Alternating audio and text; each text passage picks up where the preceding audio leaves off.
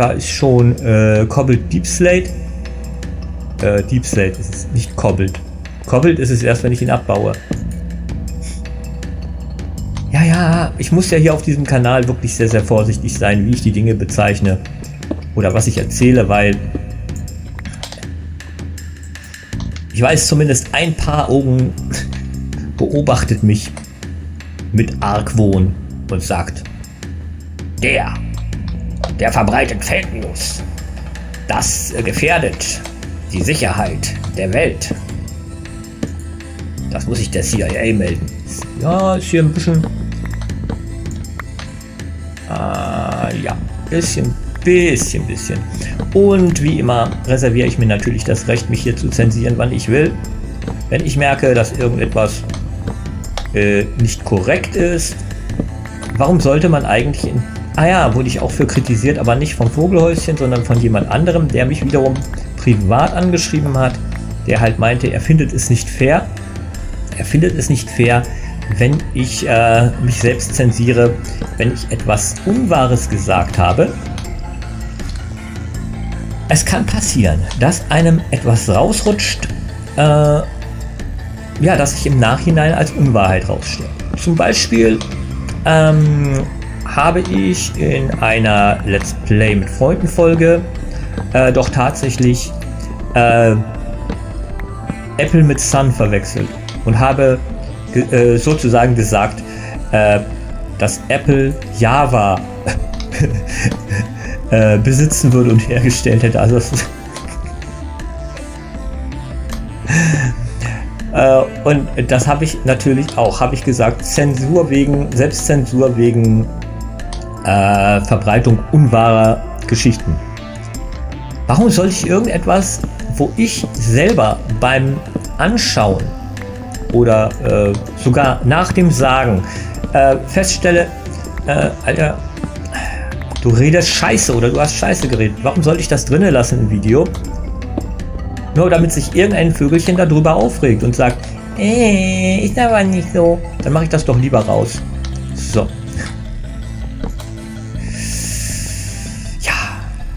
Das sind so die Problematiken, mit denen ich zu kämpfen habe. Und liebe Let's Player-Aspiranten da draußen, ähm, macht euch darauf gefasst, dass ihr unter Umständen, unter ganz großen Umständen, nein, gar nicht mal unter großen Umständen, weil ich habe eigentlich ähnliche Geschichten von allen Let's Playern, die ich kenne, inklusive dem größten und heiligsten Let's Player namens Gronk Erik Range, äh, Erik Gronk Range sagt man eigentlich dann, ähm, habe ich gehört, dass es ähnliche Phänomene gibt. Backseat Gamer, äh, Kackenkinder, wie es Gronk genannt hat.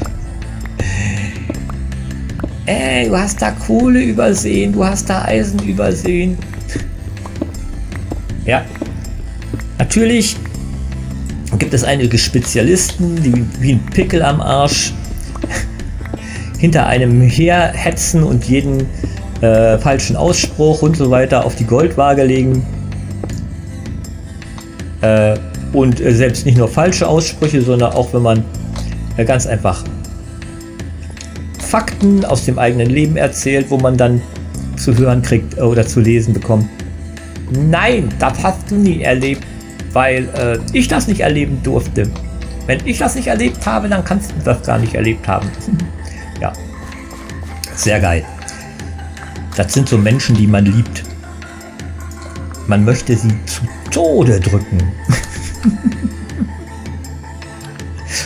Nein, keine Drohung. Sehe ich aus wie jemand, der jemanden drohen kann? Ich bin doch nur ein kleiner Honk. Ich wäre dazu gar nicht imstande, irgendjemandem irgendetwas zu tun. Glaubt mir das. So, schon fast das Inventar voll mit allen guten Sachen, die das Leben schöner machen. Okay, aber trotzdem möge das sein, wie es ist. Hier oben ist immer noch genügend vom begehrtesten Stein, Gestein der Welt drinne.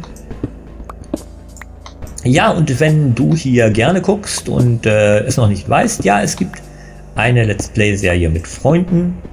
Die hat eine einigermaßen turbulente Historie hinter sich Einige Freunde haben sich inzwischen als, naja, sagen wir mal, Nicht-Freunde erwiesen. Und deswegen hat es einige Umbesetzungen gegeben, aber jetzt schon seit ziemlich ähm, geraumer Zeit ist es stabil. Der Herr Kittenkurmler, der Tobi alias Tobi Pig. Ich finde den Namen nicht passend, weil du bist kein Schwein. Und äh, der liebe Kevin äh, und äh, Herr Kittenkurmler äh, nimmt auf und macht äh, auch einen Let's Play-Kanal. Erst einen sehr kleinen.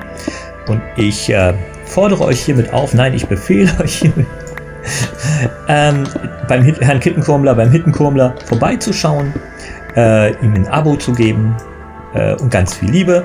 Er hat es verdient. Also ich verlinke hier mal den Kanal vom Herrn Kittenkurmler.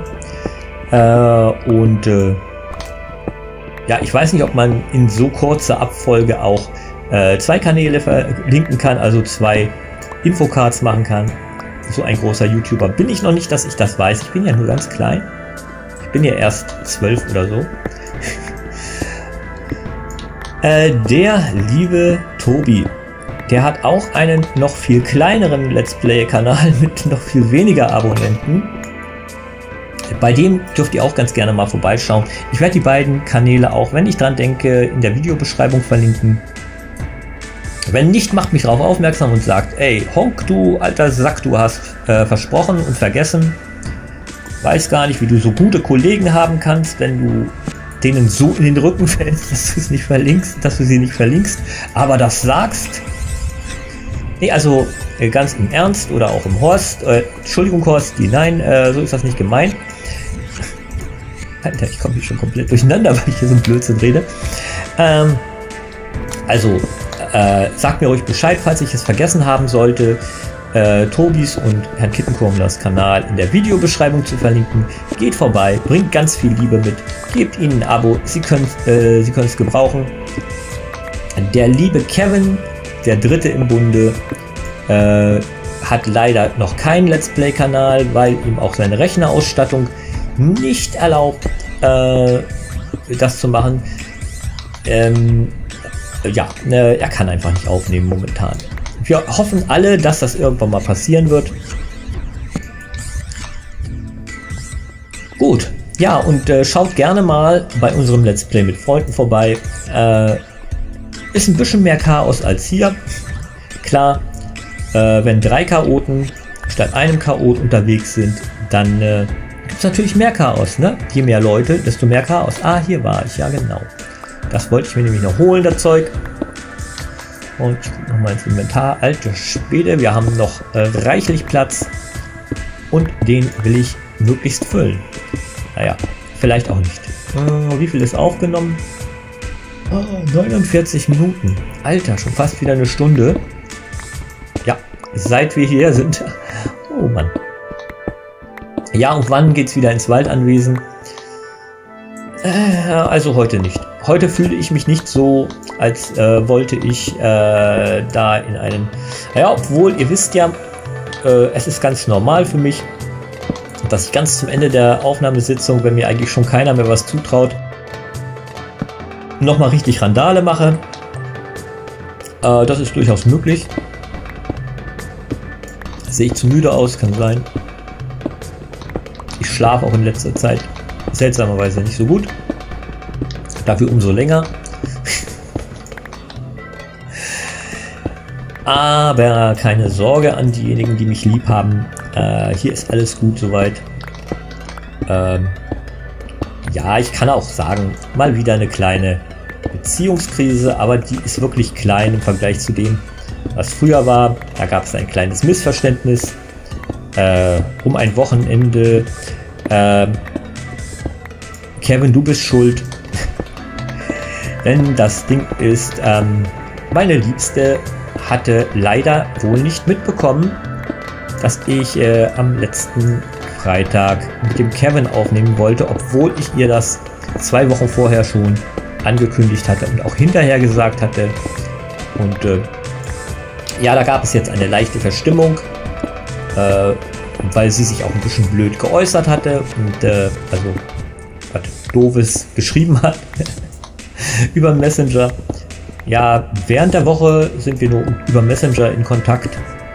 Hm, seit wir, also es ist meine Langzeitfreundin, mit der ich so, so, so lange Zeit äh, zusammen bin. Und jetzt fragst du dich wahrscheinlich, warum nur Messenger? Wohnt ihr denn gar nicht zusammen? Wir haben mal zusammen gewohnt, aber dann ähm, wurde es ganz schlimm mit meiner Depression damals, äh, 2015, 2016. Und äh, ich kann heute verstehen, dass sie sich dann eine eigene Wohnung gesucht hat und ähm, ja, äh, erstmal Abstand brauchte, denn ich war im, äh, in der Rückschau auch für mich äh, unerträglich. Ähm, ich archiviere so meine E-Mails und meine Messages und so weiter und so fort. Und wenn, als ich reingeguckt habe, sozusagen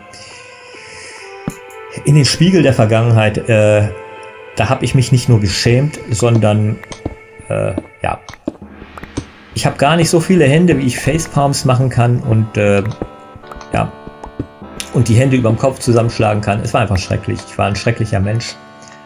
Aber so ist das halt nun mal. Äh, wenn deine Psyche zusammenkracht, äh, dann kann alles passieren.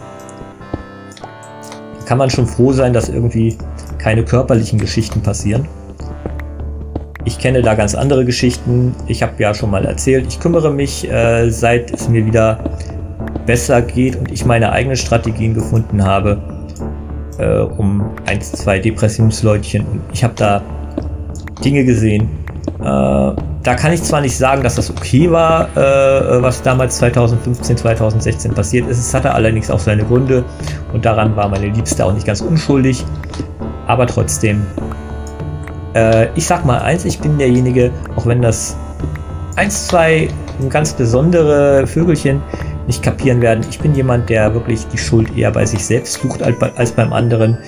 Und erst wenn es sich wirklich erweist, äh, dass das Gegenüber schuld war, dann, ja, dann bin ich mir aber auch nicht zu schade, die Schuldzuweisung volle Kanne zu bringen. So einfach ist das. Äh, lass mich mal schauen. Das sieht doch schon sehr gut aus. Oh, oh, oh, das sieht. Äh, warte. Wo ist der unvollständige Stack? Oder habe ich jetzt gerade auf den Punkt Ne, da liegt schon was. Ja. Ja, da liegt auch was, aber das soll mir jetzt egal sein. Zwei Brocken, drei, äh, zwei Brocken Dünnschiss, da, äh, da scheiße ich mich nicht für an. So. Ähm, war das hier? War das hier? Nö. Das ist eher Gefahr. Da habe ich jetzt gar keinen Bock drauf. Also ähm, versuche ich mal den. Ja, hier tröpfelt es. Es muss hier vorne sein. So, da. Und äh, yeah. ich hole noch mal Gutigkeiten aus dem Schrank. Äh, was willst du tun, Kollege? Warte mal. Äh, ich pack mal den, den doofen Stein hier rein, der gar nicht doof ist. Ich war doof. Und äh, geh mal her und mach mal den hier. Äh, ja. Und dann packe ich hier noch das Eisen rein. Was kann ich denn noch mal wegschmeißen? Das würde ich auch gerne mitnehmen. Äh, wie lange braucht das hier oben? Das braucht... Ja, ich weiß, Blast Furnace. Es heißt Blast Furnace, aber ich sage gerne Blast Furnace, weil ähm, das blöde Verdächtigungen äh, schürt. So, guck mal. Diesmal habe ich es geschafft. Machen wir die Tür hier zu, Digga. Äh, nein, äh, wir Ach doch, ja, ja, ja, ja. Ich hatte gerade mal wieder einen Hirnlapsus. Das kommt öfter mal vor. Auch genannt Gehirnlapsus. So exakt noch ein Kaffee. Äh, nicht mal einen halben Liter. Ah, Kackenfrosch, Moinsen. Ja, heute habe ich gar keine bösen Worte für den Kackenfrosch übrig. Ja, der Gang hier, der wird auch mal irgendwann schön. Irgendwann. Alles wird irgendwann. Und wenn es nicht wird, dann wird es eben nicht. Ähm, ich kann mir gut vorstellen, wenn in circa 50 Jahren, wenn ja, also in äh, 46 Jahren, wenn ich 100 werde, wenn ich dann mal äh, vielleicht den Löffel abgebe, dann wird sicherlich in der Let's Play-Welt, die ich dann habe, äh, die immer noch dieselbe sein wird, einiges unvollendet bleiben. Hm. Da bin ich mir sicher. So, und wir, wir gehen jetzt wieder rüber ins Hafendorf und machen da weiter, weil das heute unsere Hauptlokation ist. Das, was ich jetzt gemacht habe, das ist einfach nur, ja, eine Benennung, eine Benennung haben wir noch, eine Benennung. Wir sind doch hier nicht im Kloster. Ähm, oh, ich hoffe wirklich, dass bald die Pause kommt, denn, äh, Leute, es pressiert. So. Ich hätte heute so gerne einen Weg weiter in Richtung Netherfestung gebaut. Ach ja, heute habe ich Let's Play Together geschnitten, wo wir in der Bastion waren. Und ich habe mich ein paar Mal versprochen und gesagt, es wäre eine, es wäre eine, ähm, eine Stronghold. eine Netherfestung. Ich kann mir schon vorstellen, was das für Reaktionen hervorrufen würde. Also natürlich nicht bei dir, ne? Wow, ruckel, ruckel, ruckel hier. Okay. Ähm, ich bringe mal ein paar Sachen in die Schatztruhe, äh, in die Schatzkammer äh, vom Hafendorf. Ja, die gibt es ja schon. Oben im Lagerhaus. Alter, was bin ich froh, wenn ich hier hinten nicht mehr rum muss. Und wisst ihr was? Dann bauen wir erstmal den Leuchtturm fertig. Denn der wird heute fertig. Äh, hier mit dem Arkan-Institut glaube ich eher nicht. Vielleicht setzen wir uns dann an die Fischerhütte. Mal gucken. Die müssen weg. Obwohl, also vielleicht die Eingänge nicht, aber ich würde gerne ein paar Ranken hier so an den Sachen, wo halt äh, es nicht weiter wichtig ist. Auch hier die Gitter können gerne verrankt sein, das ist überhaupt gar kein Problem. Ähm.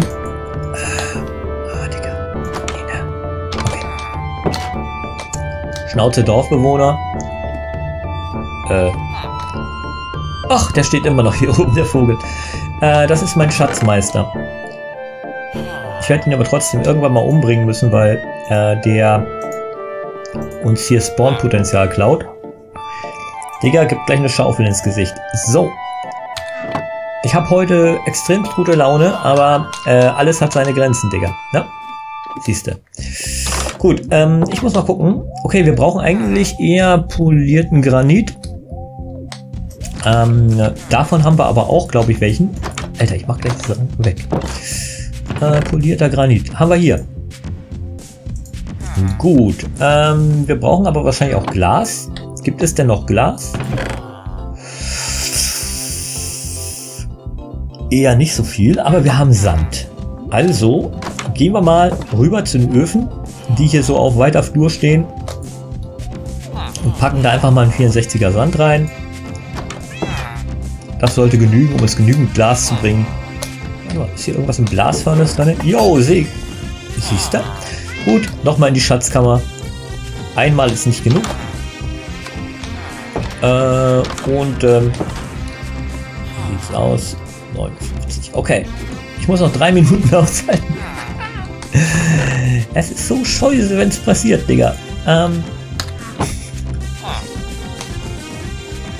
aufs Maul. So. Wie kommst du hier hoch? Dann geht er wieder runter. Gut. Mache ich das jetzt noch mit vollem Gebläse da einmal hochzusteigen und äh, warte, ich brauche da ja sowieso noch andere Sachen dann. Hin und her, vor und zurück, rein und raus. Ja. Natürlich. Ähm, ich kenne da Leute, die werden behaupten, äh, dass sie das alles im Kopf behalten hätten äh, was ich jetzt machen sollte. Halt mal, damit nicht gleich wieder Scheuse passiert. Äh, draußen.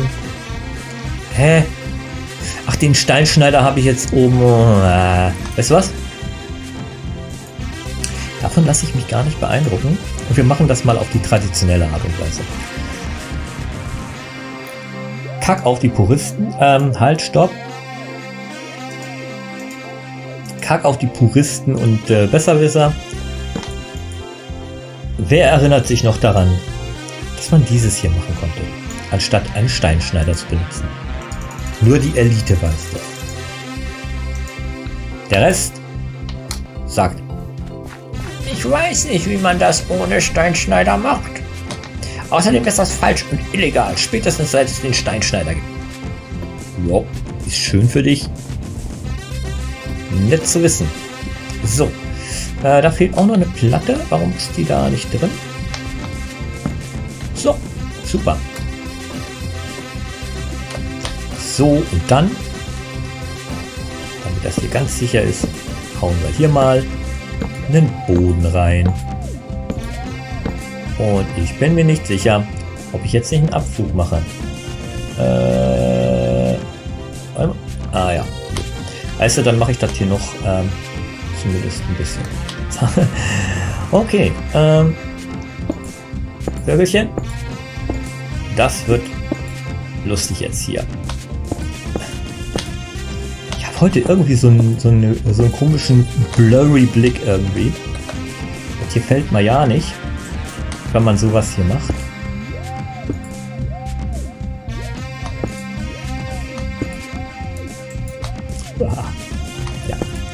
Ich weiß. Vor allen Dingen, was ist denn so schlimm daran, wenn man in Minecraft stirbt, ne? Du nimmst das Spiel zu ernst.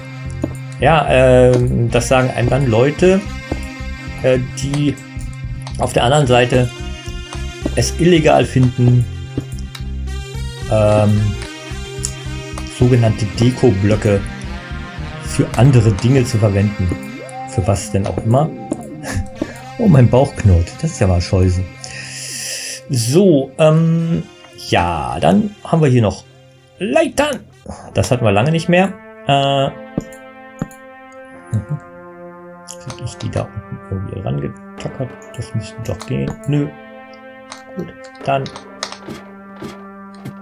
So. Und dann haben wir den Zwischenboden auch noch rein. Und dann verabschiede ich mich von euch für diesen, diese Folge. Und äh, ja, gut.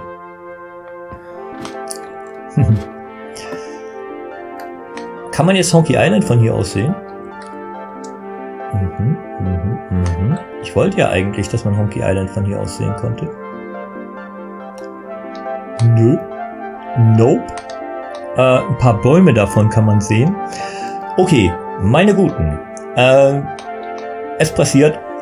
Ich sage euch äh, einfach mal Ciao mit äh, H wie Hafendorf. Bis übermorgen. Ihr habt euch wohl. Äh, wir sehen uns.